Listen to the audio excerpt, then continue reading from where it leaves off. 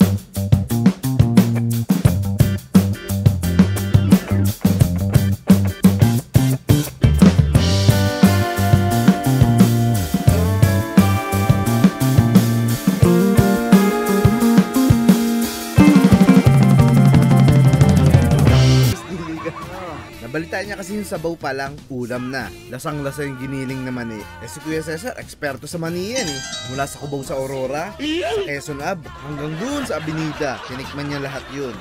Tapos maya maya nalaman namin, pag magda-dine in pala, di kailangan pumila. Pagkakakain kayo dito, huwag na kayo titin. Maghintay ka lang ng tatayo sa mesa. Mainit ka na Kuya Cesar ah. Oo, kanila binigay yun. Kanin pala. Iuwi ko na ito lahat. ano ba, ano ba? relax lang, relax lang Kuya Cesar. Sinugat ko sa dito, ano Lumalabas na naman. Ba- bagong kulay ka pala Kuya Cesar ah. Siyempre. Si ay singkit na eh. Kakanta, kakantay ng ulam. Kakantay ng ulam.